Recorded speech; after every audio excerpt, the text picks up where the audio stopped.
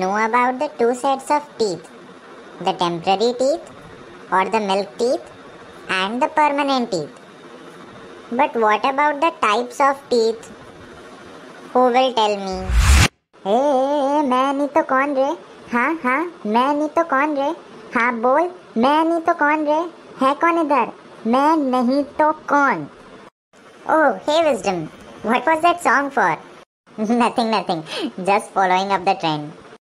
Okay, so let me tell you about the different types of teeth. There are four different types of teeth in humans.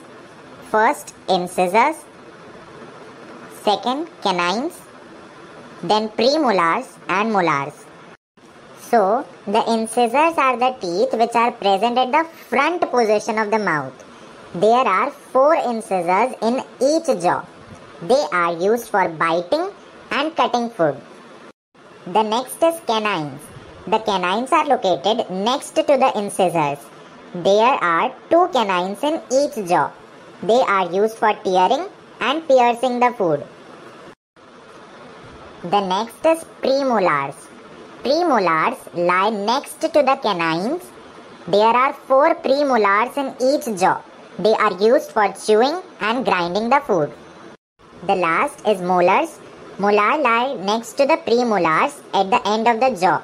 There are six molars in each jaw. They are also used for chewing and grinding food.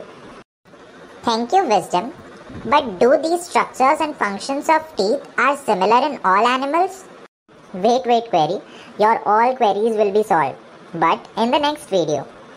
Please like, comment and share and subscribe to the channel Studyverse.